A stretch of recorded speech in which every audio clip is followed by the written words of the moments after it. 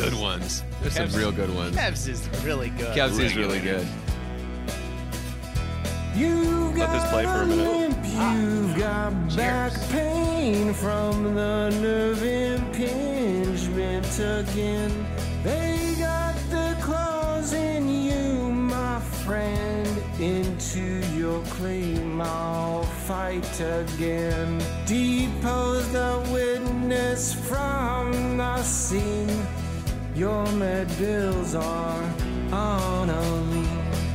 Fight for you, I'll so fight for you. Oh, when a car crashed into you, and I'll make them. All right, welcome to another episode of the Justice Team podcast. That was one of my favorite intro songs. That's Greg Schaefer with "Crash Into You." Love Sounds a lot like Dave Matthews, actually. It does sound a lot Timmy, like did Dave he do Matthews. any sort of uh, auto tune on that one? No, the whole time I told him to channel his best Dave Matthews, and he said, "Okay, I got it." He Wow. Turned around and then came back up to the mic. Unbelievable. And it sounded like Dave Unbelievable. All right, so we're, today we're talking about MTBIs, mild traumatic brain injuries. Uh, before we do, Marat, uh, Marat John Abehan, can you tell us what you got for us today?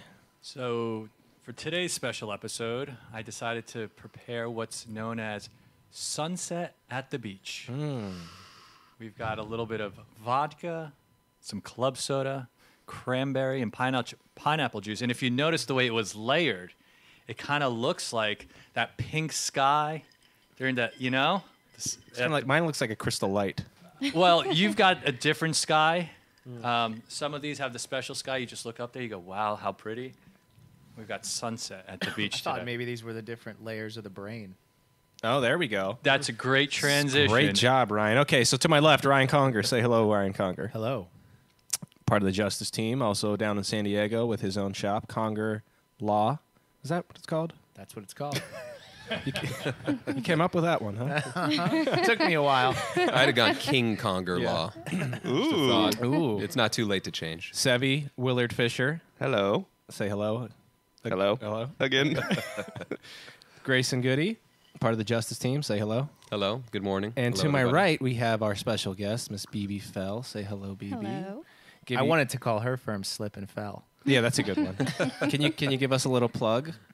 Yeah, so I have my own personal injury firm in San Diego, and I do catastrophic personal injury, brain injury cases, and wrongful death cases. That was pretty modest. Ryan, can you give the intro? No. The famed trial lawyer BBN Fell. Do it. That was it. I did it. That was the intro. All right, so we're talking about MTBIs. It's it's a very, you know, I found out very early in my career. It's a very nuanced injury. It's a very hard claim, a very hard injury to practice with. So, you know, if anyone can answer, tell me what the difference is. We're dealing with MTBIs as opposed. What's the difference between an MTBI Bibi and say a moderate traumatic brain injury, severe traumatic brain injury? What are we dealing with? Yeah, I mean, it's all a difference in degree, but when people think brain injury, they think, um, you know, what we might see on TV is a major brain injury where somebody is having difficulty walking, talking, and you can automatically tell that there's something wrong with them. And when you go down on that scale, when you go all the way down to a mild traumatic brain injury, even though they're called mild, they're really not mild at all. Um, yeah, when you're can- dealing with the brain, there's there's really no such thing as a mild injury. What, But what's so tough about the mild traumatic brain injury case is that if you don't know the person well, you often can't tell unless you spend significant time with them that they've got these major debilitating issues. Yeah, so you know, Ryan, what's what's the big the big hurdles with these cases? I mean, it's not right. It's not a broken bone. You It's can't the- see it. It's, It's, the invisible injury. Right. Right. And like Bibi said, I think that's a great point. A lot of times we don't even know the client before. The jury certainly didn't know the client before. And what you're trying to show is this subtle change, oftentimes subtle change from before and after. It's not subtle to the client, but it may be subtle in a, you know, 10, 15, 20 minutes with the client on the stand. So you're really relying on your experts to explain how this type of injury can affect someone and before and after witnesses to talk about how they were before and, and how they are after. so you know, Sevi, Grayson, when you guys are looking at cases that are coming in through the door and you're screening cases, a lot of times you're not, you don't even know that there's a potential TBI claim element, right? So, how, what are you guys kind of looking at when you're looking at a case? Case comes in the door, say it's a spine surgery case, or you get it early on and it's, you know, whatever, what kind of injury? But what are you looking for? What can, what can you see in the records that kind of indicate to you that hey, there might be a head injury or TBI component that we might have missed? Yeah, I mean, really, just any kind of head trauma. Um, you're looking to see if somebody lost consciousness. Uh, even if they didn't lose consciousness, you can sustain a mild traumatic brain injury. Uh, if they have a laceration on their head, if they said that they're confused afterwards, maybe their Glasgow coma score is a 14 out of 15 instead of a 15 out of 15. Um, really, you're just looking at all that all that stuff, and then obviously talking with the plaintiff or the potential client to see what their complaints are. And I always like to ask them everything. Like, hey, I know there's a spine injury case. Very clearly, you've had a spine surgery, but tell me everything. Tell me how you've been feeling, really top to bottom, from when this happened all the way through today. So then you can kind of, you know, hash out what their real complaints are. and sometimes they may not even know. So uh, I think uh, it's great when if you do meet to you know sort of have that first initial interview with a with a potential client. It's great if their family comes in because then you can talk to them. Maybe you know maybe the potential client leaves and goes to the restroom and say, okay, now tell me you, you know wh- what are your thoughts. You know, and they may say something like, "Oh, well, you know, since the incident, he's been more, you know, combative, not sleeping well, having nightmares, things like that." that can sort of tip you off. Um, I think obviously the initial medical records. Um, you look at the discharge. I think the, uh, the the discharge paperwork is is huge because oftentimes they'll tell you like if you know this is con- what you do. You know you had a, a, a blow to the head or maybe a concussion. You know follow up if X, Y, and Z with your primary doctor. So those are good things to sort of look at and be aware of. Yes, Bibi, how many MTBI cases do you think you've handled in your career? Not not just trial, but like that you've Yeah. worked on. Mm, probably since I started recognizing them, you know, probably 15. Okay, and how many of those does the, the, the patient go to the ER and have a CT scan and it actually picks something up? Zero. Yeah, it's it's it's very rare, and it does happen. I mean, I, I think maybe in all of the cases I've handled, I've had one, right? So, how can you prove a brain injury case? How can you prove that somebody? Obviously, I mean, there's not much of a dispute. Maybe they hit their head, but how can you prove? That's the million dollar question. How can you prove a head injury case, a brain injury case, with no? There's nothing on the scan. Like an MRI with a back, you can even see herniations. You might be able to talk about what caused those herniations, but with a you get a CT scan at the ER, there's no brain bleed, they're fine. You know, how, how do you, what's your philosophy? How do you go about laying a roadmap to prove a brain injury case, mild traumatic brain injury case? I rely very heavily on our experts because the symptoms that you're going to see from person to person are very different. People are very different. Our brains work in very different ways. So I try to get an expert involved right away, and they're going to guide me and tell me, hey, you really need to go get uh, better imaging than a CT scan in the ER. So, what, what type of expert are you talking about? Neurologist. Neurologist. Okay. So, let's now that we've we've kind of talked, Bibi's touched on experts. What are the, the the types of experts that we're usually dealing with in a TBI case? We have neurologists. What other type of experts are we usually talking about? Neuropsychologists. Neurosurgeons, neurologists, neuropsychologists. neuroradiologists. Yeah. I think the real eh, audiologists, and I think the real That's kind of That's- that's, yep. that's next level. Yeah, thi- that's that's something that probably gets overlooked. Well, and even with your experts, they may have a tough time. You know, if there's nothing on the imaging, and your expert who evaluates your client or patient once, twice, maybe half a dozen times in throughout litigation, they may even have a tough time. You know, realizing you know where's this this gentleman or this lady's you know baseline. So I think your real experts in a TBI case are their family members, the people who can you know show the before and after. Uh, Otherwise, you you really don't have much. yeah. So I mean, how it's difficult to say to, to answer this because a lot of times it's going to be the other side that's going to dictate how how many experts and how many types of experts you're going to use. But our philosophy is at the firm here is we try to keep it as as small amount of experts as possible. If we can get away with just a neurologist, we will. But I'm interested, Bibi, to see what your philosophy is. You know, what are the types of experts that you're going out and affirmatively I need this person. Is it just a neurologist? Or are you getting Well, I'm going to start with a neurologist. I'm probably going to get a neuroradiologist involved and get some advanced imaging to see if we can see something in the imaging that correlates with the symptoms and the reports. And beyond that, I'm going to focus in on what's really severely impacting my client's life. I mean, if it's if it's a hearing issue, I'm going to get an audiologist involved. If it's a personality issue or depression, and anxiety, I'm going to get um, a psychologist, psychiatrist involved. Um, if it's real cognitive processing issues, I'm going to get a neuropsychologist involved. So it just depends. It's really um, focusing in on your client and how can you help them. is it fair to say, Ryan, that with an MTBI case as opposed to any other type of injury claim that you handle, you're probably going to be dealing with interacting with the client more than any other type of injury claim that you have. Absolutely, because so much of it is about their subjective complaints and what they're going through, and the timing of where they are in their recovery too. We know that they can continue to improve up to about two years. So I think you want to monitor it every step of the way and see how their see how the recovery is going. We also forgot PET scan. when she brought up imaging, I, I wanted to ask you about PET scans, but uh, there, you know, I don't want to get too into the weeds because you can go on for hours about MRIs and fMRIs and and advanced imaging techniques, but uh, everyone should know what what an MRI is, right? You have the one T MRI up to the 3T. If you're doing a brain scan, you should be doing at least a, th- a three T MRI, right? That's the, usually the, the highest magnet, the three Tesla. Uh, and then they have advanced imaging techniques.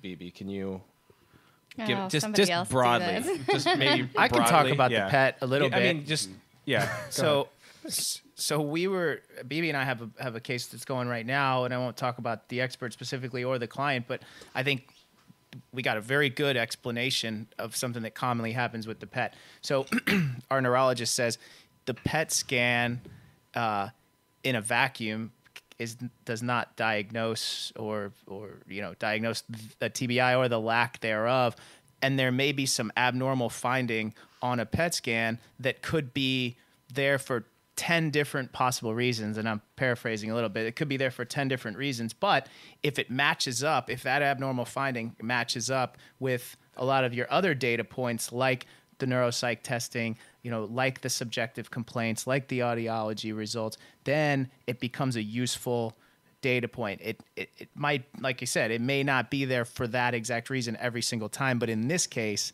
it all matches. Yeah, and to Bibi's point, I think it's very important early on is to find a neurologist that you trust is not only a good expert but a good treater who genuinely cares about the science of the brain and and treating patients with brain injuries because they can help you dictate what the best next steps are. Do they need to go into a, a program where they're they're they're rehabilitating? Do they need a 3T MRI? Do they need a, an fMRI? Do they need you know some sort of other type of imaging so you really need to rely on your your experts as consultants early on to kind of guide you when you're working a case up, when you're working a TBI case up for trial, I mm-hmm. think, you guys tell me if you disagree, I think you start with the neurologist and let the neurologist run point. Just like when you're working a spine injury case up for trial, I think you start with your orthopedic spine surgeon or neurosurgeon as opposed to starting with a chiropractor. Or, st- I mean, when you're working it up for a trial, you know, and I think Yeah. if the neurologist runs point, then he's kind of the CEO of the operation. I agree. Yeah, I I, agree. I've used um, a neurosurgeon before to sort of run point too, because most neurosurgeons will testify. You know, we're basically the same specialty as neurologists, but we do surgery. So that's I think that's kind of a sort of a sexy piece of testimony. You know, from your expert at trial, like, well, this guy like actually operates on brains. Just kind of a, you know, more of a for show kind of deal. I don't know how much it really differs, but um, if you can, or get both if it's a big if the case justifies it. Yeah, I think that's right. I guess I'm saying as opposed to starting with a psychiatrist Right. or starting with uh, a therapist Right. or something like Let the that. only the reason I the only reason I ever really go down that road is if the client really needs you know they come to me and they or, or a family member comes to me and says they need to speak to somebody like they're having trouble coping or dealing with stuff because I think and that's one of the issues I want to touch on is is DMEs you know when they're when you're doing the defense usually is going to compel all kinds of medical examinations of your client So, Grayson, can you give us sort of the usual IME notice, DME notices, we'll call them, when you're dealing with a brain injury claim? Yeah, when you're dealing with a brain injury claim, I've seen everything from a psychologist to a neurologist to a neuropsychologist, um, audiologist, neuro-ophthalmologist. I mean, they can really go down every road here.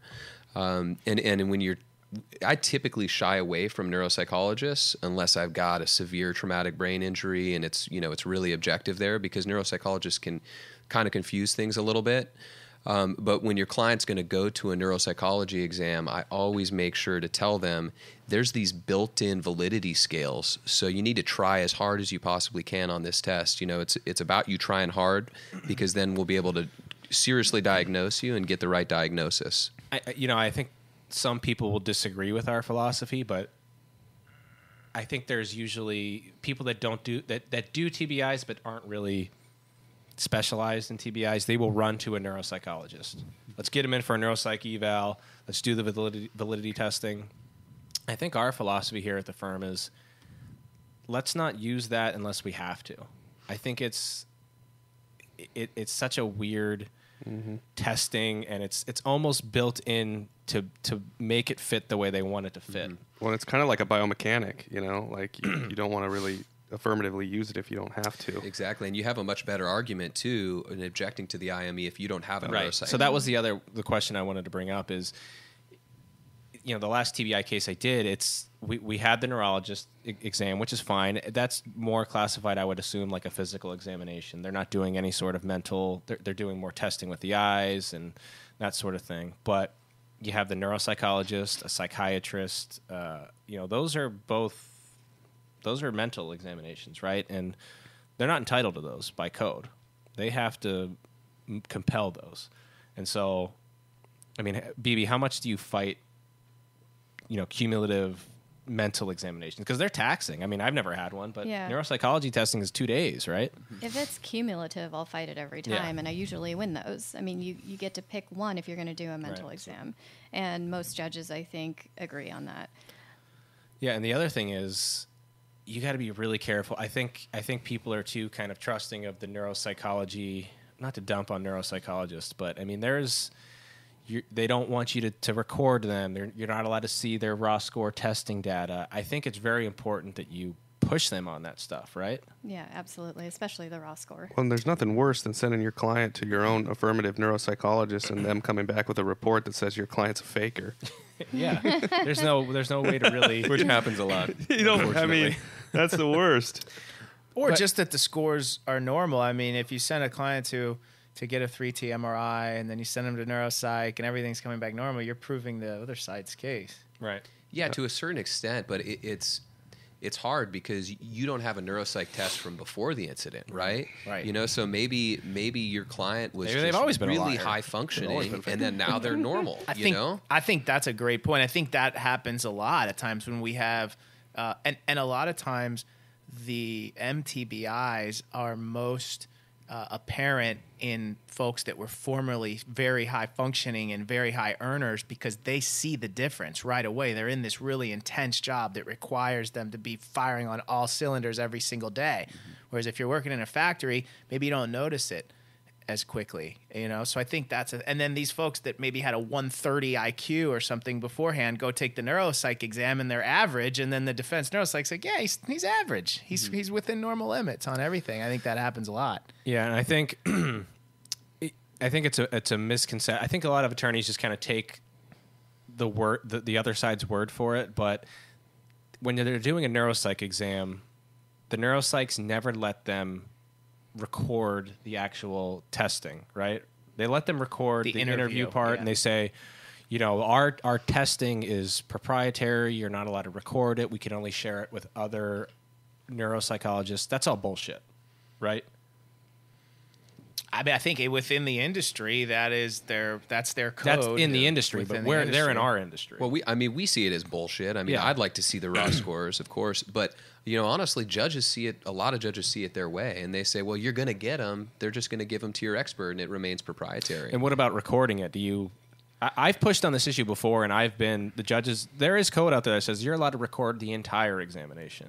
I, I think you're right. I think per code we are correct, but a lot of times then it's going to result in a trial continuance because then they have to go get it. You're going to say, listen, the choice is you do the neuropsych exam with this guy. You can't force him to do something that he's not comfortable with. So if they have to go get a new expert, uh, then I'm going to let them go get a new expert, and then that's going to result in a trial continuance. So you better really not like their neuropsych you're going to do that. Okay, so I, I want to kind of jump into trial and trial prep with TBI cases. Um, you, know, Bibi, when you're when you're prepping your client or you're prepping your your case for trial, what is what's your mindset? What's kind of the process you go through? Where do you start? Do you start with the client?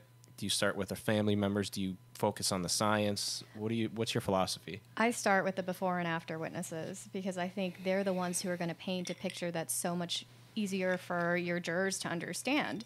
And then as long as you, the medicine falls in line with what they're saying, as long as your client's testimony or husband's testimony isn't wildly out of whack, I think the, that you can build your case around what your before and after witnesses say.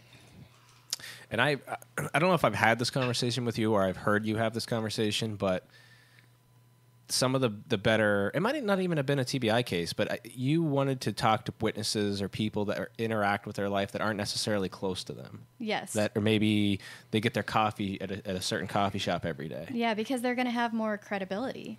I mean, you get a family member up there, and the jury automatically thinks, "Oh, well, they're biased. Oh, they want, they really They want to help their to make- family They member." want there to be something. right, Yeah. right. it's nice to kind of give the jury a, a little taste of you know you know when you're prepping your client in anticipation for trial and they you know aren't as good as you would like them to be as far as testifying. Maybe they get nervous maybe they get anxious maybe they don't remember maybe they say the wrong you know they uh, phrase their answer in the wrong way.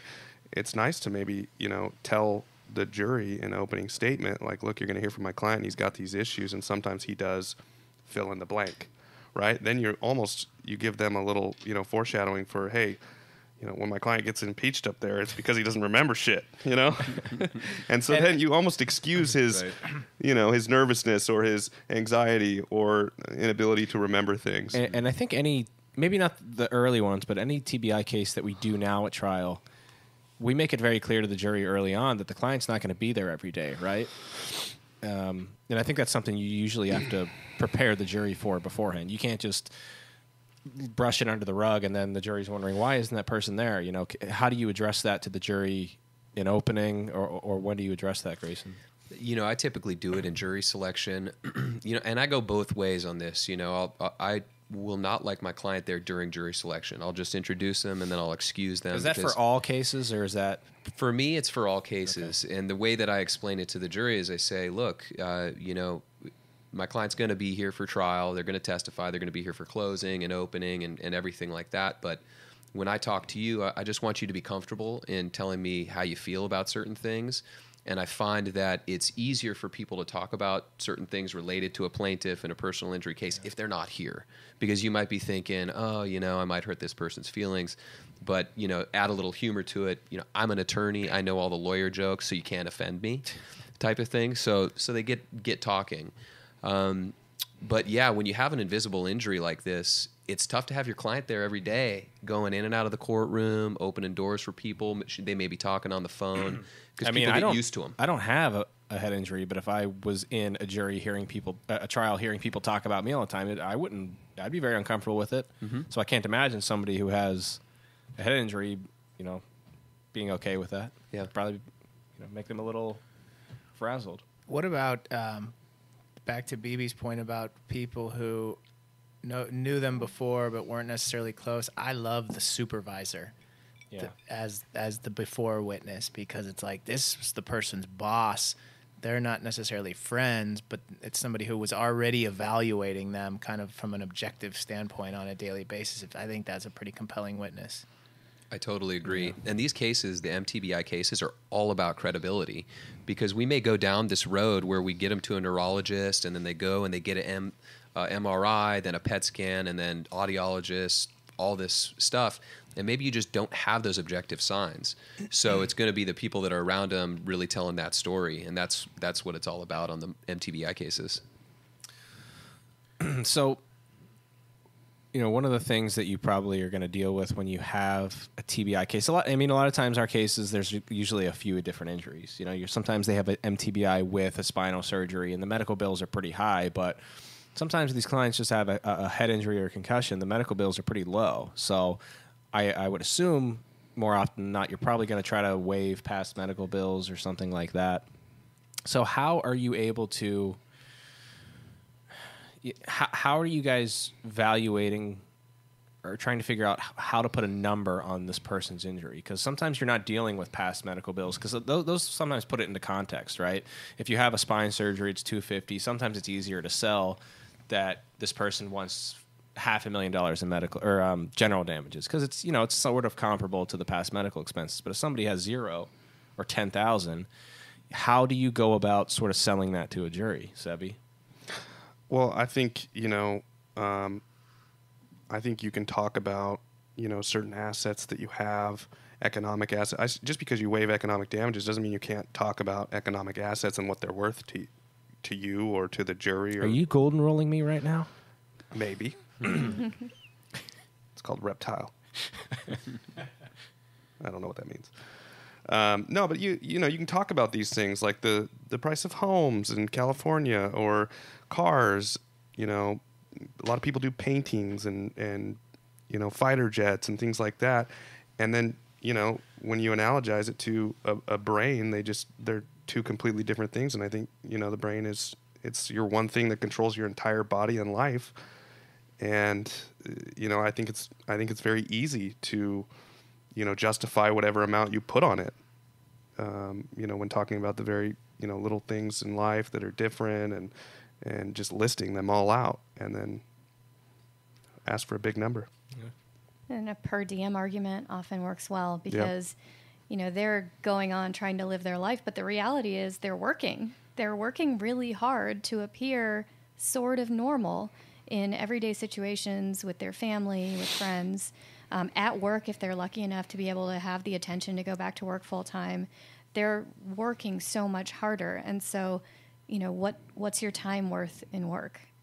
right And it's probably a little different for a client with an MTBI who's a high earner, like you were talking about. I mean, the, the, the economic damages, especially if they're in their 30s, 40s, and they're an engineer, they're making six figures, and then all of a sudden, you know, their voc rehab analysis is going to be off the charts, probably. For whatever reason, I happen to get these a lot of these, I, a lot of these higher Oh. cases, but You're, you're the best. ceo whatever reason, I only get like eight, eight, eight, eight figure settlements. I don't know what it is. So I think th- one thing I've started to say lately is that is in and of itself an objective finding. Somebody doesn't make you know half a million dollars a year for 10 or 12 years in a row and then all of a sudden just stop working to to fake an injury for a, a maybe jury verdict. So Yeah. I, I don't need a, an mri or a pet scan or anything. That is i think that's objective. So I mean, those cases are, are probably going to be a little easier to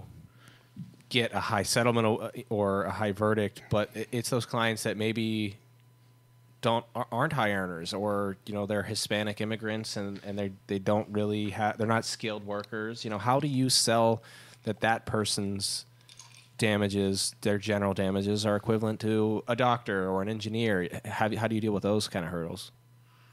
I don't know. I think you just talk about it in jury selection, Yeah. and then you really want to hammer on it being a personality change and get you know the people that are close to them to say, "Hey, this is a different person." You know, it's a different person before and after the incident, and um, and you can kind of talk about that stuff in jury selection. You know, hey, if this was a doctor uh, versus this is a janitor, you know, are their damages going to be different? Does this person suffer differently than this person? And really get people to start thinking about that in jury selection but really you know it's just hammering on that this is a different person and this completely changed them and they're never going to be the same and it affects everybody around them you know one thing I want to say that maybe it's unrelated is also just as important as meeting with your client early on and seeing if they and identifying whether they do have a mild traumatic brain injury. I think it's really important to identify if they don't. and we take a lot of cases over that are kind of handed off to us. And like Brandon said, there's a lot of times where someone has orthopedic injuries from a big crash, and then they also have, you know, they had some headaches initially, or they had an MTBI, they had a concussion initially, but it got better. If it got better, then just say it got better. I, I just Concussion, yeah. they- too many just- times I feel like uh, folks are trying to chase down a lead on an MTBI that just isn't there, and it, you lose credibility on the rest of your case when you're trying when you're when you're focused too much on that. I don't know what you guys think about that. No, but it's, Yeah, a, I it's a good totally point. agree. Yeah. It also adds credibility to your other injuries because you're mm-hmm. like, look, if this guy's just out here for a buck, trying to make a buck, we could have just, you know, said, oh, he's got this and continued to do that and sell this.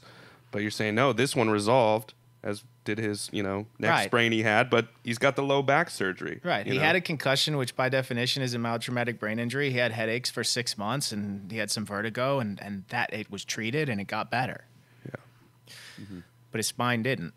Yeah. So while we're on the topic, is there any other sort of common missteps that you can make when you're working up an MTBI case that you can think of? Kind of pitfalls to avoid. uh, not treating the psychological part of it, the depression and anxiety part of it, when there's multiple components of an injury, if there's like cognitive dysfunction, diminished, uh, like this case that we're working on right now is diminished executive function. Uh, and it's kind of a it's kind of a hornet's nest, and I think a lot of the better experts like to try to sort out the problems so we can isolate the main issue. If the main issue is cognitive dysfunction, then let's focus on that and, and try to treat everything else that can be resolved. Oh. Teresa just our producer just passed me some uh, viewer questions. So let's see what we got here. Presenting damage as witness at trial. I think we kind of covered that a little bit, talking with supervisors or people that maybe aren't that close to them that have sort of the the day to day interactions or I'll touch on the damages witnesses. Yeah, I think ahead. when they're actually taking the stand, it's important to not have them just get up there and say, oh, these are the differences I noticed, but actually load them up with stories, with anecdotes. Let them paint a picture of a 30 second interaction because that's so much more meaningful um, and hits at a, a gut level, an emotional understanding. It's a really good point. One, one, uh, we had a trial where uh, the wife was talking about the husband. Um, one of the, he was forgetful and he would never leave the stove on before the incident, and now he always leaves the stove on. She talked about one time him leaving the stove on and almost starting the entire house on fire. And just that little story, uh, I mean, it was huge for people. They, they, a lot of jurors talked about it afterwards. They were like, "Wow, like I can't imagine like having to worry about that. Leave my kids home with my husband, and like I got to worry about him burning them down." You know, so that was a that was that's that's a really good point. yeah, so finding little stories, anecdotes. That's, That's just a great point in general in mm-hmm. all litigation. Every, especially like defense lawyer, when defense lawyer is taking your deposition of your client and they're evaluating the case for settlement, every defense lawyer's heard pain. I have trouble sleeping. I can't lift as much weight as I could before. All those things they just start to sound generic. I think to a guy who's taken a million depositions, but when you give a real story that hits home, it it changes everything. I have a good one that I always use in Depo Prep. I won't bore you guys with it. Plus, it'll make me cry. So do but it. It's a good one. All right, you want to Well, hear that, what a cliffhang! it? You want to hear it? Jeez, I gotta tell I it. gotta really bore. I won't bore you with it, but it'll make so, you cry. so I was on the defense side. I was taking the deposition. I deposed the husband who had like it wasn't even that big of a case. It was a shoulder injury with a couple of uh, cervical injections, and I had the case valued going into it. And he testified, and he said he was truthful. He said all the same things that the wife ultimately did in the afternoon. Uh, but he just it was much more generic. Nothing he said really changed my evaluation of the case, and in one way or the other. He said, you know, I have a harder time playing with my kids now. I don't wrestle around with them as much. The wife testifies in the afternoon and says, we have two kids. One's autistic, one's not. The autistic kid, uh, he doesn't communicate. If you understand anything about autism, he doesn't really understand like when you talk to him, if you can't just say, I love you so much, even though I don't play with you anymore, he doesn't understand that, right? But he with his but his dad would spend so much time with him and play with him and wrestle with him. He can't do that anymore. And he said, How come he, he said to the mom, How come daddy doesn't love me anymore? Hmm. And I was like, that case just tripled in and value. was, mm-hmm. and you were like, it's an open policy. Yeah, don't I was like, care if if you she demanded thi- the policy anymore. Well, I wrote on my report. I said, if she takes the stand and says that, you're gonna get six or seven jurors are gonna f- cry and give her whatever she asks for. Thanks, Yeah. Ryan. Yeah, you weren't kidding. Be careful what you wish for. Sally. yeah. So I mean, any other kind of tips or? Well, let me ask this: I- so you have a you say you, you sign up a case straight off the streets. You know, our our cases usually get brought to us when they're pretty deep into litigation, so we don't really have a can't really get to send the client where we want them to. Let's say you do sign up a case off the street and the client just had a concussion last week. Is the first person you're getting them into a neurologist? Is that kind of at least for that complaint, or are you waiting to do that to see if if it's something that is still sticking around after a few months, or I wait a little Yeah. bit to see if it's getting better because I don't want to jump the gun and start spending a ton of money and your attorney sent you to so right. and so, right? Yeah. And you know they they just had their life upended. Yeah. You know, so if we start sending them on things that are not necessary, then you're going to lose some trust with the client too. Yeah. Okay. Any other uh, parting words with MTBI cases? Any advice in general for people that are wanting to take these cases on or going to trial on some of these cases? You know, some forewarning maybe to some of you guys that have been in TBI trials. Have a lot of patience. Yeah. I mean, there's a lot of follow up. There's a lot of hand holding. Um, there are a lot of emotions that run around, and and I think when you take a case on like that, you're jumping into a huge family life altering situation, and so you have to have a lot of patience with people. Yeah, I think that more, like I said before, more than any other type of injury, that is the client that you're going to have to to have a little bit more time with, a little bit more face time, a little bit more hand holding, just because the nature of the the injury. Yeah, so much frustration and just misunderstanding of what's going on with me, especially if there's no imaging studies to say that's what's wrong with you right there. Yeah. Now, Bibi, are you are do you subscribe to the give your client a your cell phone number club? I do. You do? I do. Oh, dangerous. That's dangerous. I do it. Yeah, I, I do it too. As much as I say I don't. I, I mean, I wouldn't recommend it to anyone else, but I do. Well, I'll say this: I, I've changed my tune on that a little bit. I was very against that for a while, but you have to know the client before you do that, right? Very Agreed. early on, I was just like, "Hey, call me, uh, whatever." But I think you have to know which client you're giving that to first. I'm not totally against it, but don't just do it. I do it, and then I threaten to revoke privileges. Yeah. Very rarely. but- Sometimes you send the fake automatic reply. Verizon Wireless does not accept text messages anymore. Sevi, any parting words to people that are taking on TBI cases or? No, I think we've covered it. Yeah, great. Thanks for the insight. Marat, Marat, you got anything back there? I don't um, talk just to talk. Sure, sure you don't. I thought this was so good. One of the best episodes ever. That's all I got. Is that a Trumpyism? Is that your? this episode was the greatest, most amazing TBI episode in the history of episodes.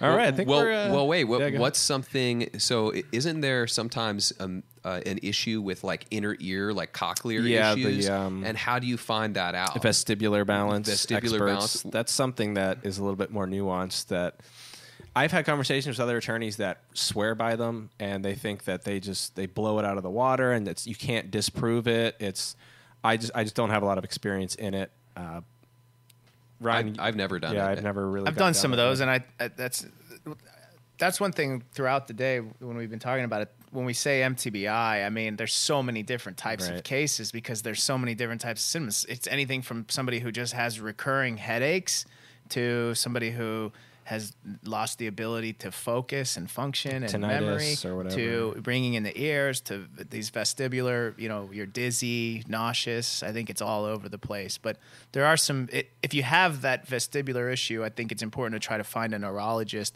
who specializes in that. And if your issue is headaches find somebody who specializes in migraines yeah, don't send somebody to a vestibular, you know, balance expert or whatever they are if they don't have that issue. right somebody who's disproving primary- your case. right somebody whose primary problem is is memory they don't need to go to a vestibular imbalance guy and and Yeah. vice versa but i do think those cases are uh, they can be good because it's a it's more of a physical thing it's Yeah. easy i think it's easier for a jury to understand to, to imagine you can imagine dizziness because everybody's had it everybody's been nauseous everybody's felt a little bit of you know disorientation not everybody's ever experienced memory loss that's a weird thing to try to imagine. A imagine word mm-hmm. finding. or- Yeah.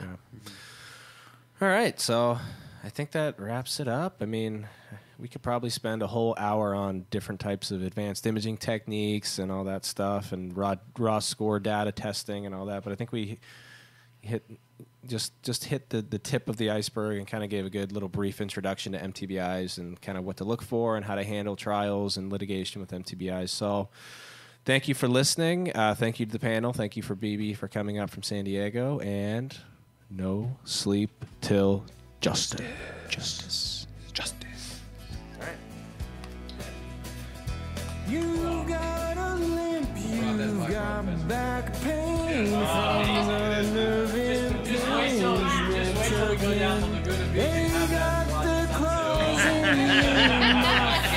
Into your cream, I'll fight again. Depose the witness from the scene. Your medals No, no, and it, I mean, the stuff you said that was specific came out of Fight the for deposition, you, so it's no I'll secret. so fight Right, right. for you. Oh, when a car into you, and I'll make them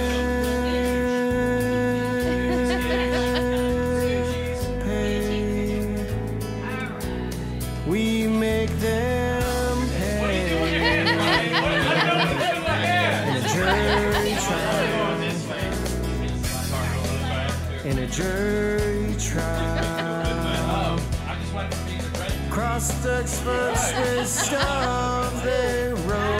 Jurors as their credits blown. Lies exposed were crazy about you. Oh, when that truck crashed into